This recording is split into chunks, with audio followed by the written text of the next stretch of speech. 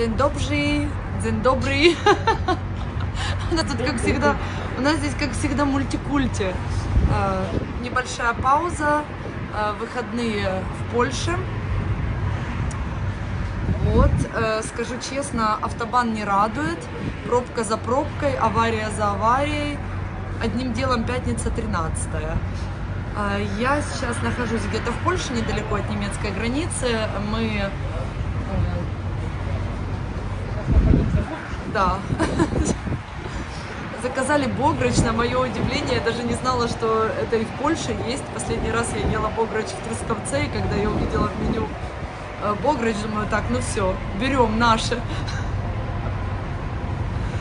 Погода замечательная. Здесь, я бы даже сказала, уже скоро, наверное, будет лето. Но вот как-то э, тот, э, то время, которое ты находишься здесь, я уже думала, мы туда и назад уже приедем. А нет, уже ушло часа 4 только на пробки и на аварии. А можно показать, да? Это Бограч.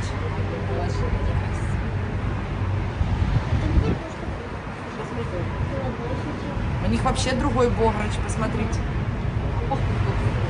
А этот э, в Трусковце это был супчик. Вот это тоже супчик. А здесь, видишь, вкусно какая-то. Такие Девочки, булки. ложки там есть и такие железные. Я взяла такие, ты? Или- Я возьму такую тоже, да. Я тоже думаю, что Что мы люди не звездные. Это мне больше гуляш напоминает, если честно. Сейчас попробуем, посмотрим.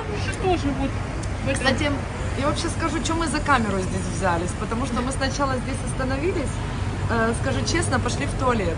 Э, чем-то напомнила кани- каникулы у бабушки. очень вкусно. Очень вкусно. Затем мы зашли здесь, эм, ну, мы вообще как бы, мы искали домашнюю кухню, правильно? Да. Вот, сейчас... И мы ее нашли. И мы, и мы ее нашли. Аутентичную кухню. Аутентичную, да. То есть мы, мы искали вот не Макдональдс, там в Макдональдсе мы уже тоже были, а мы искали вот что-то такое вот, как, знаете, как вот где готовят, как дома. Мы нашли. Кстати, булки они сами делают. И так как вот как раз перед вот, вот этим вот э, стопом там огромнейшая пробка, поэтому мы подумали, ну пусть все сидят в пробке, а мы пока покушаем бограч. И действительно оказалось, что что здесь домашняя кухня, у них свой повар. В общем, мы пришли, увидели это меню. Как-то оно уже, знаете, такой микс в голове. Украинский, польский, немецкий и так далее. И уже ты стоишь, уже не понимаешь какие-то слова, там, хербата, чай. э, как это было, журовка? Да. Журовка это супчик э, с Яичком. яичком и этим, еще там чем-то, в общем, Колбасой. с колбасой, да, точно.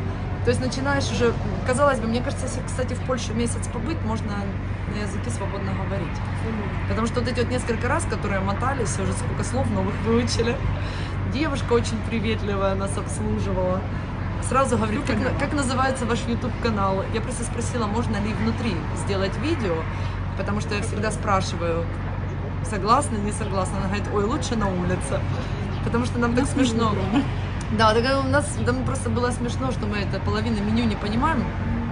Поняли только картошку фри, но бограч я увидела сразу, я сказала, сразу будет бограч. Но попробую. Это не конкуренцию делает нашему борщу, да? Вкусно? Как гуляш. Это не больше, а больше гуляш. Это, да, потому что... А что это такое, макароны или что это? Наш борщ Это А в, а в Трусковце не было макаронов в бограче. Была юшечка, был более жидкий. Попробуем. Пахнет, кстати, очень вкусно, как у мамы. Ладно, на камеру есть не буду, а то опять захейтят. До скорого. Сметана есть. Э, Я пришла... Ничего не вижу, без очков солнце слепит. Э, Я пришла, спросила, а сметана у вас есть? Они говорят, да, дали мне стакан сметаны. Э, Подхожу к стойке, говорю, сколько стоит? Нисколько. Смотрю, уже сидят на кухне, смотрят наш YouTube канал. Класс. Я знаю, что можно как-то включать субтитры. Я не знаю, как это люди делают, но знаю, что немцы смотрят, и мне говорили, «Э, Галина, у нас там субтитры идут, и ты знаешь как? Наш мне показала. Потому что я понятия не имею, как субтитры включать. Так, все, пахнет очень вкусненько. Кстати, очень-очень вкусно. Добрый бограч. Дзинкуем.